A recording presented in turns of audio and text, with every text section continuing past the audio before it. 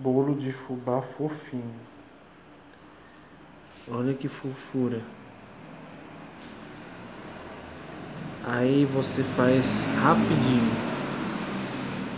É um ovo, um copo americano de leite, um copo americano de farinha de trigo, um copo americano de fubá, quatro colheres de sopa de óleo, uma colher de sopa de fermento em pó e um copo americano de açúcar.